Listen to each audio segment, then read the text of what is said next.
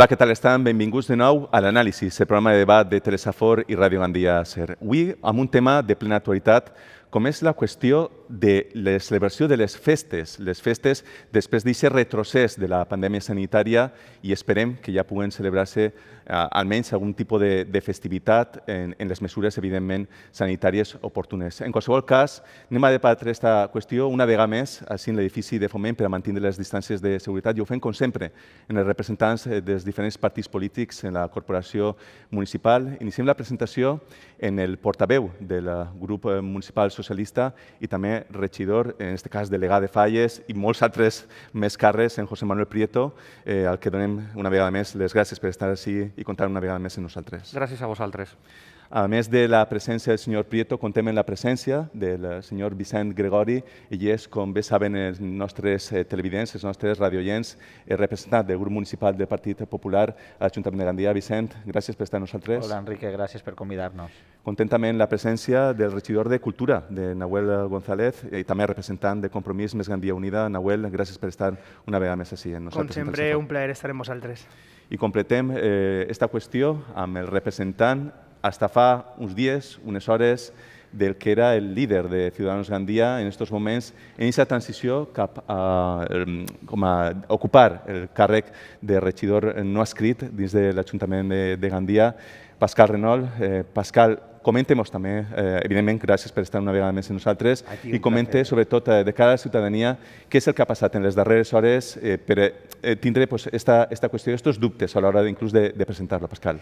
Bueno, pues yo simplemente decir que voy a seguir trabajando por, los intereses de los gandienses, como llevo haciendo los últimos dos años. Me consta que estoy trabajando muy duro para, para ello. El partido ha tomado una decisión que yo creo que tal como está yendo el partido a la deriva, autodestructivo, eh, creo que no tiene ahora mismo ninguna, ninguna fuerza.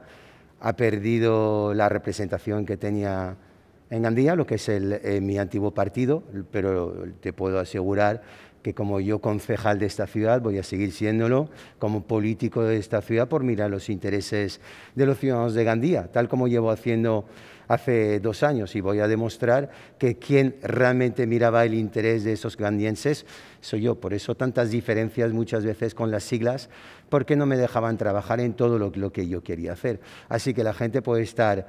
Eh, tranquila de que voy a seguir trabajando muy duro por ellos. Una altra qüestió, Pascal, és què passa si dos anys, quan arriben aquestes eleccions, ja es parlarà? Hoy, si no sé lo que se va a decir en el debate de hoy, yo prefiero mirar de aquí dos años. Creo que estamos en un momento delicado. Hoy que tienes un buen debate por delante para hablar de estas fiestas tan sumamente importantes, económicas, psicológicas, cuando estuvimos hablando. Así que todavía queda mucho camino por hacer. Yo prefiero no hablar a largo tiempo, sino bien a corto tiempo, e interesarme por los intereses de los gandienses. Y luego, eh, las siglas ahora mismo es lo que menos me interesa. Me interesa la gente de Gandía. Uh -huh. Qüestions eh, de tema polític al marge, anem a sentar-nos ja en, en, en el debat i ho fem, com no, en el representant del Partit Socialista, com a regidor també de política festiva, d'alguna manera, en l'Ajuntament de, de Gandia. Eh, José, estem parlant, evidentment, d'una qüestió en la pandèmia ja es visualitza un retrocés gràcies, com no, a l'esforç que s'ha realitzat i sobretot a aquesta vacunació massiva ja en, en alguns territoris i esperem que de cara a l'estiu encara siga eh, molt major aquesta vacunació. En qualsevol cas, i parlem que la fira encara queda una miqueta lluny, però eh, sí que ja es pot visualitzar almenys què puga ser d'aquestes festes eh, patronals eh, a la nostra ciutat de cara al mes d'octubre, José? Sí, bueno, jo el primer que volia fer és posar en valor, eh, com tu comentaves, l'esforç tant del personal sanitari com dels ciutadans. Venim de mesos on aquesta responsabilitat col·lectiva s'ha complert en la nostra ciutat d'una manera excel·lent eh, per part de tots els ciutadans, no solament perquè han fet cas al que se'ls indicava i al que se'ls demanava, sinó perquè també en aquestes mesures de, de protecció individual han eh, complert amb un acte generós de protecció de la resta, especialment dels més vulnerables. Entrem en un altre estadi, precisament gràcies a aquest esforç, a l'inici de la vacunació en un percentatge molt massiu que ens dona el camí cap a la immunitat de grup que assegure eh, la plena protecció dels nostres ciutadans quan eh, es desenvolupen grans esdeveniments o grans concentracions de persones. I jo crec que eh, en base a aquest indicador i a uns altres indicadors epidemiològics s'ha considerat que setembre és el mes on la immunitat de grup estarà sòlida perquè estarem en uns percentatges de vacunació que s'estan acomplint, a més, tots d'una forma escrupulosa eh, propers al 70% de la nostra població, el que és un percentatge molt important per a que no hi hagi riscos que assumir en la escenificació eh, de concentracions massives o d'esdeveniments populars que sabeu que en aquest moment no s'estan celebrant i si se celebren és sense públic o amb unes contencions i restriccions enormes. Eh, és, és setembre el mes que s'ha marcat per a l'inici del que puguen ser les noves festivitats. Eh, jo vull recordar que a banda de la normativa que en cada moment s'estableix en base als indicadors epidemiològics, on Gandia segueix millor situada que la resta del territori valencià i que la resta del territori espanyol, hi ha també unes eh, restriccions d'aforaments, de concentracions, eh, i unes normes que cal superar, perquè en aquest moment, eh, si anem al decret, les, les festivitats i les celebracions populars estan absolutament prohibides i l'únic que es permet és actes culturals, activitats culturals, amb unes restriccions que nosaltres hem anat aplicant eh, i hem anat complint. Això canviarà, sembla, en el mes de setembre. Pel que s'ha dit, la Conselleria, a partir de l'1 de setembre, precisament amb la possibilitat de fer eh, falles en les distintes localitats valencianes que les celebren, podrà tindre una normativa distinta que sí permeta les festivitats, però que les condicione a uns criteris que jo crec que independentment del percentatge de vacunació no van a canviar, que són, eh, sembla, la, eh, evitar la concentració massiva de persones, les grans aglomeracions i afluències, i a partir d'ahir possibilitar determinats actes que no solament siguin un al·licient per al sector econòmic que viu directament de la possibilitat de fer festa i que hem de recordar que és un dels sectors econòmics que més està patint i per als que també hem tingut una ajuda i una línia de suport directe des del nostre eh, pla Resistir i aquestes ajudes parèntesi, perquè també han tingut una línia específica pensada per a ells, sinó perquè eh, l'element patrimonial que són les celebracions populars per a tots els pobles i que s'han transmès generació darrere generació, també són un símptoma de que els pobles eh, es refan de les grans eh, sacsades o de les grans trontollades de la història, com ha sigut per a nosaltres esta pandèmia. En quina fase estem? En Gandia, fins i tot en els, eh, en els darrers mesos, hem estat capaços, i ahí està la Fira d'Arts al carrer Mira o l'esforç que s'ha fet des de la Regidoria de Cultura de tindre els teatres oberts, de programar esdeveniments culturals en el carrer d'una manera segura. En el Mira, per exemple, ja hem estat capaços de fer un, un pilot, una prova pilot del que podran ser les futures celebracions a partir del mes de setembre, perquè hem estat capaços, en plenes condicions de seguretat, amb plans de contingència i amb totes les mesures que la norma segur que ens indicarà a partir del dia 1 de setembre de celebrar activitats en el carrer. És cert que amb un aforament molt menor a l'aforament indicat, que si no hi havia un registre d'assistents no podies entrar, eh, que si no te llevaves les mans i te sentaves a un metro i mig no podies accedir, però amb aquests condicionants hem estat capaços i la ciutadania ha respost perquè els espectacles han tingut un ple del 100% en el mes d'abril, que era per a entendre'ns la segona Pasqua i veníem d'un moment complicat de la pandèmia. Què és el que no se permetrà segurament? Sembla que aquestes grans afluències o aquestes grans concentracions de persones. Però jo vull dir que nosaltres estem preparats per a totes les intendències i per a totes les contingències, perquè excepte en el primer confinament i des del mes d'octubre al mes de març, que vàrem tindre unes dades epidemiològiques eh, que desaconsellaven absolutament la celebració d'estos esdeveniments i posar en risc la seguretat de les persones, que és algo que mai faríem, Gandia ha tingut més mesos activitat en el carrer i en la cultura que no activitat tancada. Uh -huh. En definitiva, senyor Prieto, per a que quede clar, pot haver fira, però no serà una fira normal. No anem a tindre en cap eh, condicionant. Eh, jo no vull donar tampoc falses esperances, jo crec que no ens correspon donar falses esperances als ciutadans. No anem a conèixer una fira tal i com la coneixíem. Això va ser absolutament impensable. Per què? Perquè la fira, si és alguna cosa, és gran concentració de persones, gran flux entre espais i gran circulació dels nostres ciutadans i dels qui ens visiten, que són molts al llarg d'un cap de setmana, cap als distints espais on se programen espectacles. Però, dit això, sí que podem estar en condicions, si la situació epidemiològica és bona, si hi ha un percentatge de vacunació que avança a la previsió en què està avançant fins a aquest moment, i si la norma ens ho permet, que de moment ens ho permet, i ja s'està parlant d'un aforament molt superior als actes que Gandia ha celebrat fins ara, sí que hi haurà programació eh, pensada per als actes de fira i festes i també per a les celebracions de, eh, populars i d'altres districtes. Com ho farem? Evidentment, com la norma ens diga, però ningú podrà pensar que serà assimilable al que ja coneixem perquè anem a entrar en una etapa, almenys en els propers mesos, on res serà com ho coneixíem, almenys fins que no hi hagi una certa consolidació d'aquesta immunitat d'Europa.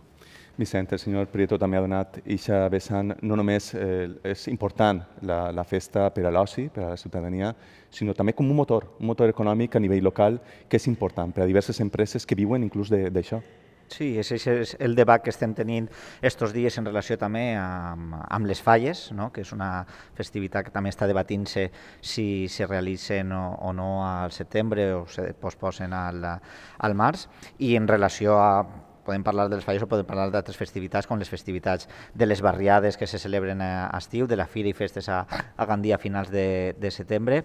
I jo crec que, que l'important també són eh, sí que marcar objectius, perquè moltes vegades eh, parlem, quan parlem de, de, de festes massives, no? les falles són festes massives, les, la Festes són festes que conforme les tenim concebudes, conforme eh, estan projectades, conforme les, les coneguem, són activitats que aglutinen a moltíssim de, de personal. Entonces, això va ser eh, un condicionant a l'hora de, de en, eh, en esta nova normalitat, no? en, en aquestes noves dates que se pressuposaven, però jo crec que sí que es poden fer, evidentment, eh, coses eh, controlades, acotades, amb un eh, mínim d'aforo. Jo crec que la ciutadania ha complit en, eh, en els paràmetres i en les restriccions que se'ns se ha marcat, bé per les autoritats locals, bé per les autoritats sanitàries, però en, cada moment s'han marcat uns condicionants a nivell econòmic, a nivell eh, festiu, però jo crec que la ciutadania també a poc a poc necessita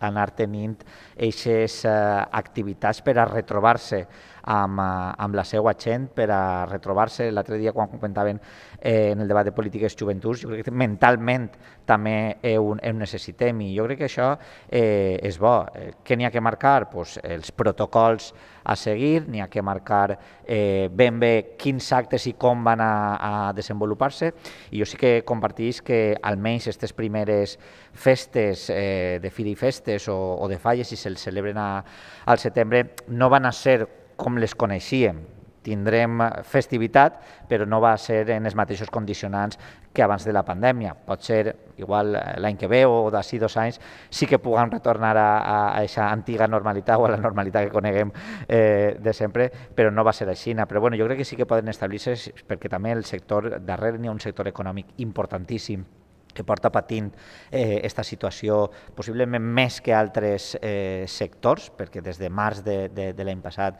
que no han pogut eh, realment eh, estiu també se poden fer algunes eh, coses eh, controlades, consensuades amb, amb les associacions de, de veïns i, i festeres. Jo crec que aquest és el camí que, en, que hem de seguir i, per supost, continuar vacunant, que al final és la resposta majoritària per a que això torni a la normalitat. Mm -hmm.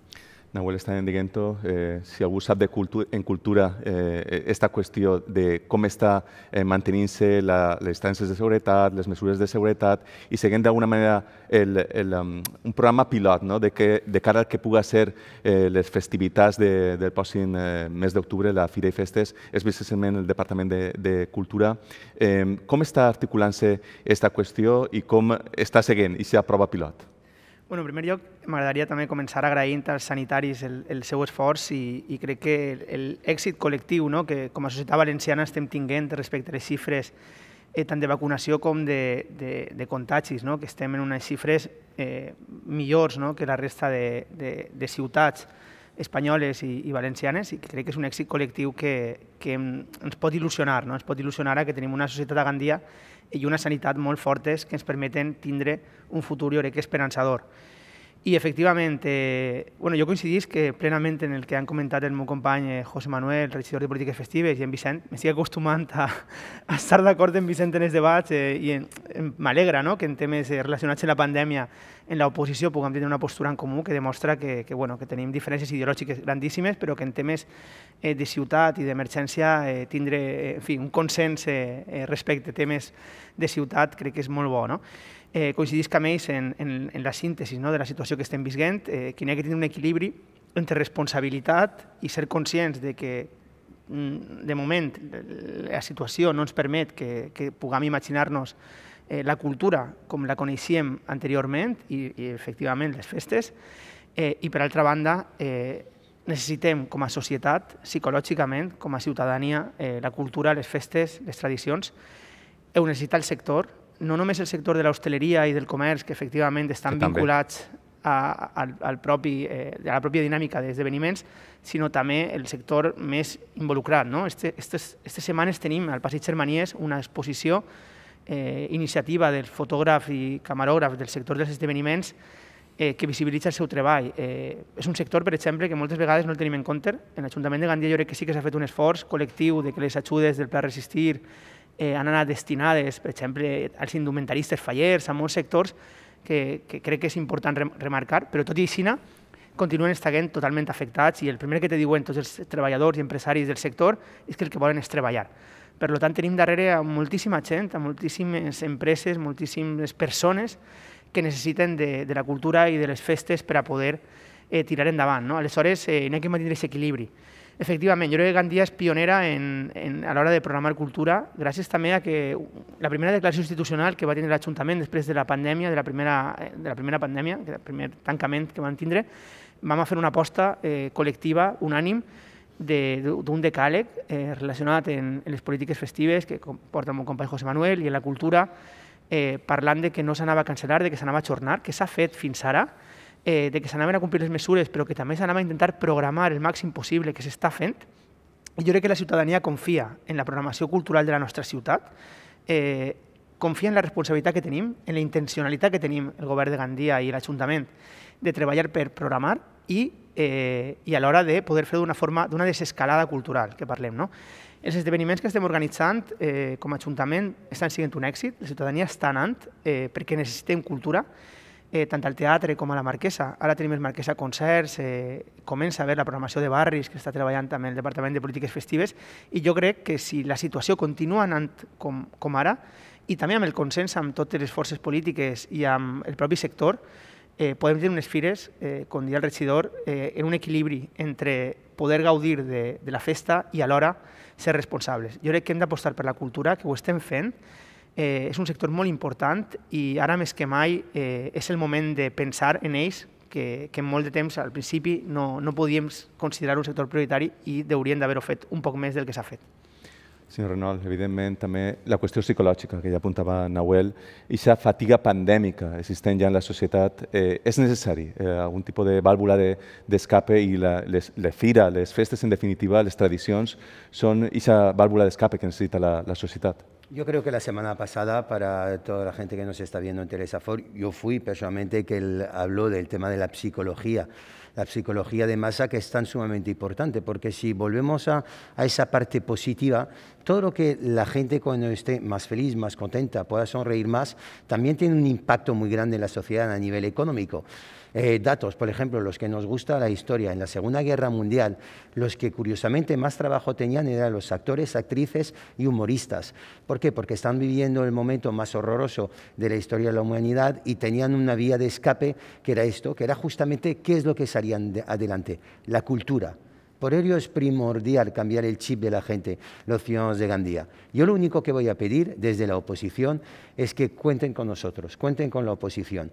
yo aquí el señor Nahuel me acuerdo cuando hizo una reunión muy importante para todo lo que era el sector de la cultura, recordará que, que pude aportar la idea de grabar unos vídeos promocionales que quedaron, por cierto, espectaculares y que con esos vídeos la gente podía ver qué es lo que se hacía desde la música, desde la danza, desde los actores, para que pudieran tener una proyección adelante y salida de trabajo en el futuro. Pues creo que estamos en un momento decisivo, decisivo también para el consenso. Ahora mismo la ciudadanía de Gandía, la española, a todos en general, nos piden de estar a la altura. ¿Qué significa estar a la altura? Ya tendremos eh, tiempo, largo tiempo para debatir, para discutir, que además es positivo para la política, porque eso nos hace también aportar ideas positivas, no siempre negativas.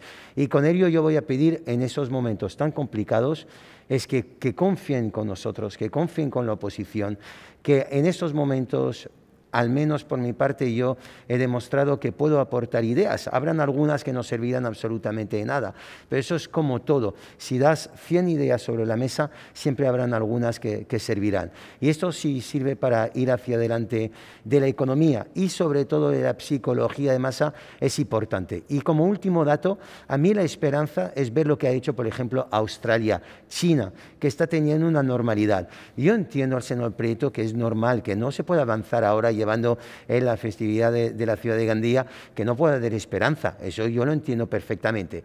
Pero ¿cuál es la gran esperanza que tenemos? Pues que el señor Puig dice que de aquí pocos días, o el señor Simón, de que va a desaparecer la mascarilla al aire libre. ¿Qué es la gran suerte que tenemos en nuestro país y más en concreto en la Comunidad Valenciana? Que tenemos un clima espectacular hasta el mes de octubre-noviembre. ¿Qué nos permitiría hacer? Pues tener muchas actividades al aire libre, controladas. Esto es la gran esperanza, eso es lo que tenemos que ir luchando. La FIRA tal como la conocemos, estoy con Vicente, que ahora mismo no es probable que la podemos tener. Sí, pero por ejemplo el tío de la porra, los niños, ¿por qué no? Los niños han ido al colegio con la mascarilla, pero con una total normalidad. Hay cosas que tendremos que volver a encontrar a partir de ya, siempre cuando lo permita. Pero creo de verdad, yo tengo muchísima esperanza, independientemente de que gracias a ellos la vacuna, tengo la esperanza de que por el clima que tenemos, el aire libre, hacer actos al aire libre va a ser fundamental para la economía, la psicología y la cultura de esta ciudad. Senyor Prieto, estem parlant, evidentment, d'hipòtesis, especulacions, tot, si, si, si arribem a aquesta eh, merescuda ja pues, eh, vacunació i, i eh, pues, d'alguna manera que, que estem ja vacunats completament tota la, la societat. En principi, i, i so, sobretot sentant-nos en la qüestió de, de la fira, parlem del recinte firal. Eh, aquesta qüestió de que sí que es puguen pujar les atraccions, va poder-se desenvolupar, eh, va controlar-se l'aforament. Com es pot realitzar una qüestió com aquesta, si, si realment es pot eh, manprendre? Bueno, jo, abans, no sé. de, abans de concretar, eh, Pascal, esperança sí, sí que estem donant esperança. El que no podem donar encara és norma per a canalitzar les voluntats i els desitjos de la ciutat, que jo crec que passen no solament per una eh, certa, un cert aspecte d'algo que se puga semblar a la normalitat que teníem, sinó també de la possibilitat de retrobar-nos. I jo crec que la Fira i Festes és aquest aspecte de retrobada en la tardor, després de l'estiu, en el Saló de la Ciutat, eh, amb, entre les persones que així vivim i les persones que la, que la fem. Així que donem esperança amb convicció, no perquè vulguem donar-la, sinó perquè estem convençuts que hi ha una certa esperança després d'un temps tan dur i que nosaltres també com a governants hem de contribuir a que el progrés dels pobles després d'una tragèdia com esta pandèmia eh, passe també per la retrobada dels afectes de les seues persones, que són les celebracions populars i festives. El que no tenim encara és norma que ho regule. Per això, eixa fita de l'1 de setembre i que a partir de l'1 de setembre hi hagi un decret que deixi sense efecte el decret que prohibia les festivitats populars, que encara és vigent, i permeta la celebració d'esdeveniments com el de la Fira. Per contestar a la pregunta, nosaltres ja estem treballant en plans de contingència. La Fira no és algo que es programe en setmanes d'antelació. Al contrari, nosaltres, quan acaba una edició de la Fira i Festes, ja estem pensant en la següent. I ens hem passat un any, com dia Nahuel, reprogramant, adaptant els actes a les circumstàncies, no ajornant, sinó donant certesa a les companyies i als proveïdors del sector de la cultura i de les festes de que en aquest moment tal vegada no era possible actuar perquè les condicions epidemiològiques han estat dures realment en alguns mesos de l'hivern, sobretot en les dates més pròximes a Nadal, però donant-los una alternativa. Ahí està la Fira Mira, més de 300, entre 250 i 300 persones per espectacle en un espai acotat, en un pla de contingència, i és cert que adaptant els hàbits de la rutina i del comportament, que en definitiva són també hàbits de protecció individual i col·lectiva que hem tingut estos mesos al comportament eh, quan vas a una activitat cultural o festiva. Un registre previ, un control d'aforament, eh, una distància interpersonal i unes mesures.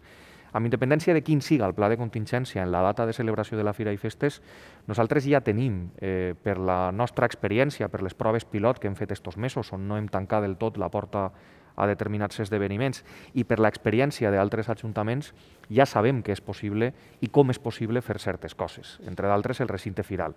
Nosaltres eh, enguany comencem un nou, una nova adjudicació del recinte firal perquè s'havia acabat l'adjudicació anterior eh, i esta vegada hem apostat per un recinte firal eh, pactat també amb el Gremi de Firers amb una distribució distinta. Hem reordenat les atraccions, Eh, hem donat més espai entre atraccions dins del parc, perquè també els nostres tècnics han medit els metres quadrats del nostre gran recinte firal. Els hem donat una zona independent eh, per a les seues contingències i la seva logística, que fins ara estava integrada en el recinte firal i ara estarà en una zona anexa.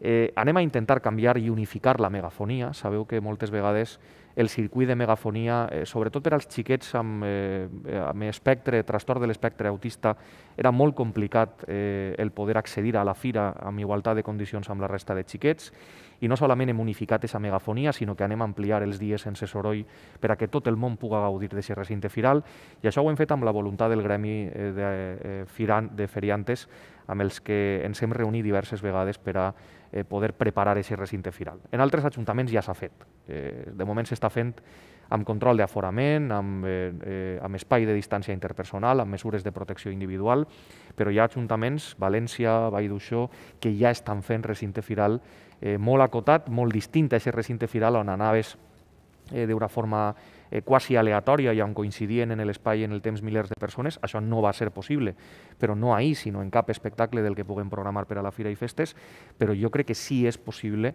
eh, exportar les experiències d'altres ajuntaments i donar també certesa a un sector, jo vull recordar el del Gremi de Firers, que fa dos anys va parar les atraccions i que en molts casos fa dos anys que les té guardades en una nau sense poder-la traure i sense que el negoci de la seva família eh, puga tirar-se endavant. Jo crec que també a l'hora que donar expectativa als xiquets i no tan xiquets que volen gaudir del recinte, al sector que és un dels sectors més eh, sacsejats per aquesta davallada econòmica de la pandèmia, i també al recinte firer, podem tindre experiències que amb seguretat, amb contenció, eh, se puguen exportar per a tindre un recinte firer habilitat. Com ho estem fent? Pues, com te deia, ja estem treballant en aquests plans de contingència per a la Fira i Festes, perquè independentment de quina siga la norma del moment o de quina siga aquesta norma que permeta les celebracions populars, hi haurà determinats comportaments en matèria de protecció, de contingència i de salut que hauran de prevaldre, i això és el que estem preparant tot este any en companyia del departament, està implicada també la policia local i ja eh, disposats a tindre certesa per a poder tirar endavant. Mm -hmm. Vicent, parlem també de les falles. Les falles és un sector eh, en el que l'aglomeració és, diguem, d'alguna manera, eh, eh, va unit no? a, a la pròpia festa fallera. Les falles, com deurien desenvolupar les, les seues activitats per a mantenir aquesta distància de seguretat, etc. Bé, jo, qui ha d'estipular com, com s'han de fer els actes eh, previstos per a falles és la pròpia federació en conjunt amb les autoritats locals i supos les autoritats sanitàries, perquè el que sí que està clar és que tant la Fira i Festes com les falles, eh, qualsevol acte partint de que a Gandia n'hi ha 23 comissions, cada comissió una mitja de 200 fallers eh, on anem a moltíssimes persones en cada acte eh, que aglutine a, a les 23 comissions. Per tant, ahir és, jo crec on ve majoritàriament el, el problema, perquè després en cada mm, barriada on està el casal o la carpa de, de, de cada falla pues, se podrà controlar perquè són menys les, les persones i n'hi ha una activitats particulars que fa cadascú que se, se, se coordinaran d'una altra manera. El problema és quan s'ajunten o se fan activitats eh, conjuntes, però conforme estava dient també eh, José Manuel, de cara a la Fira i Festes, se poden establir eh, protocols, recintes firals, acotats que poden accedir, inclús encara que ja no tinguem, ojalà, l'obligatorietat de la mascareta per a certs igual eh, esdeveniments massius sí que se deuria d'igual d'establir de, de, fins que passi un cert temps. Dir, protocols i, i idees jo crec que n'hi ha moltíssimes. El que és important és eh, poder anar eh, fent. Poder anar fent ho comentàvem eh, en la primera ronda per aquesta necessitat social que tenim la, la ciutadania pels sectors que són molts, així en parlant d'uns quants, eh, firers, indumentaristes de, de falles, indumentaristes fest, de, de festivitat en general que també estan, perruqueries, floristeries, eh, mm, en, eh, events musicals, eh, parlem de, de, de moltíssimes eh, sectors diferents englobats en l'organització de, de festivitats i parlem de també moltíssimes famílies que estan jo crec també fent un, un esforç no sols econòmic en les restriccions que, que tenen perquè no poden eh, treballar, sinó adaptant-se a tota la normativa que va eixint eh, cada vegada en base a la, a la incidència que té eh, les, a, les comunitats o, o les localitats i en base a això ara estan retomant-se, eh, reprenent-se les, eh, les comunions. No són les comunions que coneixíem a, a, abans, però sí que estan fent-se. Jo vaig estar el diumenge passat en la comunió d'uns amics i, i, i n'hi havia pues, activitats per als xiquets, n'hi havia eh, música, el que passa és és que no podies ballar, tenies que estar eh, sentat. Però jo crec que en aquests condicionants, i com a moda d'exemple, de, se poden també fer eh, events eh, massius, massius eh, al carrer, acotant en un recinte, indicant que sols pot anar, en el cas de les falles, eh, les reines i els presidents en una entrega de premis, per dir un, un, un exemple, i, i entonces en aquests condicionants són els que, en els que ens hem de, de manejar, però sí que establir, evidentment, uns, uns protocols, i jo sí que soc partidari de que vaig a eh, fent-se eh, coses per a reactivar. No podem estar des després d'un any i mig i vist que ja s'està eh, integrant més en aquesta vacunació eh, massiva i que ja anem per edats entre els 50 i els, eh, i els 60, és a dir, que la població amb més risc, que és la població més major, ja té una o les dues eh, vacunes, jo crec que sí que podem anar avançant en, eh, en consolidar aquestes festivitats, en aquests canvis que almenys en guany tocarà fer, però sí que fer aquestes festivitats que, que són tan importants també per a la societat. Well, parlem d'una qüestió com va ser aquesta cabalgata de, de falles, de, perdó, de falles, de, de Reis, eh, ja en, en Nadal, i seguim especulant, perquè estem parlant, evidentment, d'hipòtesis i d'apertura, una possible apertura que esperem tots que, que es produïsca. Gandia va ser capaç, en aquell moment, eh, fa un any, en totes les condicionants, de tirar endavant un acte com aquest, evidentment no com en el format tradicional, es va haver d'adaptar, però sí que va realitzar a, a, aquest acte si tot marxa, com tots, com tots esperem, i de cara al mes de setembre les coses comencen a, a canviar, entenc que també van a produir-se molts canvis en aquest sentit i va obrir-se també un poc la mà en este, en este aspecte, no, Nahuel? Bueno, jo crec que en l'Ajuntament de Gandia, eh, fora d'improvisació, jo crec que ens ha vingut bé per la imaginació no? I, i per el treball de poder eh, buscar solucions a, a situacions que calia eh, tirar endavant. No? En el cas de, de la cabalgata, eh, els companys de polítiques festives eh, van idear una cabalgata innovadora que jo crec que va permetre que la il·lusió dels xiquets i xiquetes de Gandia estiguera intacta a l'hora de que, de que es complien les mesures de seguretat. No? Tenim l'exemple de cultura a casa que van fer des de, els actors de teatre i, i de més músics des del seu propi eh, eh, habitatge, no? gravant-se per a que la ciutadania poguera veure-ho en directe i crec que és un temps d'innovació. Eh, per tant, eh, entenc que la major dificultat que tenim ara mateixa són, efectivament, si les falles se feren a setembre, que, que requeriria no, d'unes mesures de seguretat i una responsabilitat col·lectiva molt gran, i la Fira i Festes, que, com comenta també el meu company, eh, estan treballant-se amb un pla de contingència i amb moltes precaucions. No? Per tant, eh, jo crec que la cavalcada ja podríem, en aquest horitzó d'esperança, parlar de més normalitat encara, perquè crec que no és tan difícil comparat en, en fira i festes o falles. Eh, però bueno, crec que n'hi ha que innovar i també tenim que ser conscients d'una cosa, crec que no s'ha dit en aquest debat, i és que la situació de moment eh, és esperançadora, perquè el ritme de vacunació és bo, perquè la societat està sent responsable, però és una pandèmia molt impredecible i tenim exemples en altres països no vull ser pessimista, però també hem de tenir damunt de la taula les possibilitats de que la cosa poguera empitjorar. I les variants. De, de, Efectivament, de... altres variants de, del virus i per tant ve un estiu eh, on jo confie plenament en, en, que, en que continuarem treballant a millor com a societat, però anem en compte perquè és una situació que no depèn de Gandia i que a vegades ens supera. No? Hem tingut cops, cops molt complicats com el, el Nadal, el gener i febrer d'aquest any, que hem patit molt, jo he patit molt a l'hora de treballar la programació cultural i en aquest sentit eh, tinguem esperança però també siguem conscients de que encara estem en la pandèmia i hem d'intentar eh, tenir un equilibri, no? com deia al principi. Jo crec que, que en el cas de les falles, per exemple, eh, tenim una federació de falles molt potent, on, on hi ha una pròpia assemblea de falles que van a prendre una decisió ells i tenen aquesta capacitat de, de poder decidir col·lectivament, que és un exemple a seguir, inclús en altres ciutats no hi ha l'empoderament que tenen les falles de Gandia, eh, tenim un sector cultural, eh, com dia abans Pascal, eh, que, que ja se coneix, que estem treballant en el Consell de Reactivació Cultural, que anem a convocar ara, perquè telemàticament no volíem fer-ho, volíem fer-ho presencialment i ja es pot, podem fer reunions, anem a convocar-ho amb tots els grups polítics de la ciutat per parlar de les mesures que estem, o les activitats que estem realitzant i continuar escoltant propostes tant del sector com dels grups polítics, perquè és important. I jo crec que de la mà dels col·lectius eh, és com s'ha de treballar, de la mà de les falles, de la mà del sector cultural, eh, de la mà també de l'hostaleria i del comerç, eh, perquè estem en un moment en el que eh, cal empatitzar molt en la gent i ser responsables a l'hora que tindre esperança. Parlaves, parlaves abans de, de que s'estan fent ja eh, esdeveniments, eh, tenim el cas esportiu, no? que també durant molts mesos eh, s'ha estat aturat i per fi este cada setmana està el triatló, eh, està la Deuca Nocturna, un altre sector també eh, molt afectat i que ten, també és una qüestió també de necessitat vital no? poder eh, competir i ja s'està reactivant. Per tant, estem veient eh, una llum al final del túnel que crec que eh, cal agafar amb molta responsabilitat i jo crec que la ciutat de Gandia, en matèria cultural, eh, està programant, està sent responsable, estem mantenint un equilibri.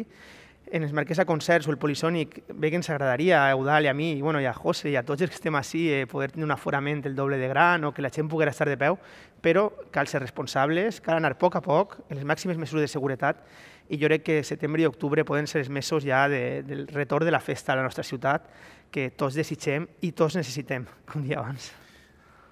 Pascal, eh, evidentment, eh, esperança, però ja ho apuntava Nahuel, anar tots de la mà els polítics i els diferents representants dels distints sectors eh, en la nostra ciutat, ciutat, entitats, asociacions, etc. Los políticos lo que tenemos que tener y lo que tenemos es mucha responsabilidad, ¿no? Si abrimos y, dejamos hacer unas cosas, luego somos los que pagamos. Yo creo que lo que hemos aprendido en este último año es escuchar realmente a los sanitarios, que son los que entienden de esto.